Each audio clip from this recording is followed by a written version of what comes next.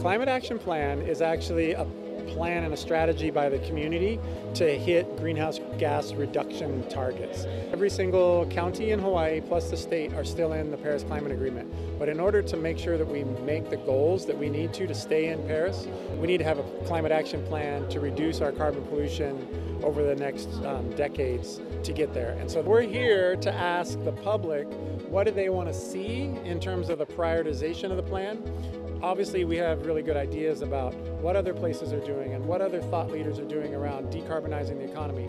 We actually are interested in knowing what people on uh, this part of the island, what they want to see. Is it electrification of transportation first and cars? Is it more solar on rooftops? Is it, you know, more battery storage? And and what what sort of prioritization do they want to see? What do they want to see in the first five years? What do they want to see in the next 10 years? I attended this event because I want to learn more.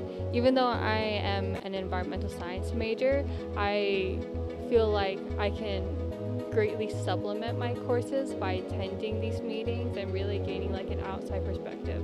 Beach, the water, the ocean is a huge part of like what connects to me to my culture and as it is being degraded, like I can't interact with it in the same way that I used to be.